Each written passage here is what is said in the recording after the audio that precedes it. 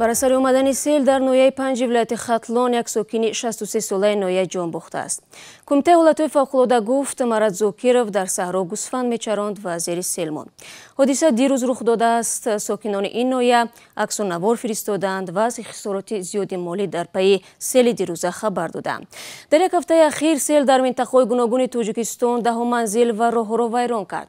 Дар панҷакент ва хуросон се нафар ҷон бохтанд. Мақомот мегӯянд зиёни сел محسوب نشده است.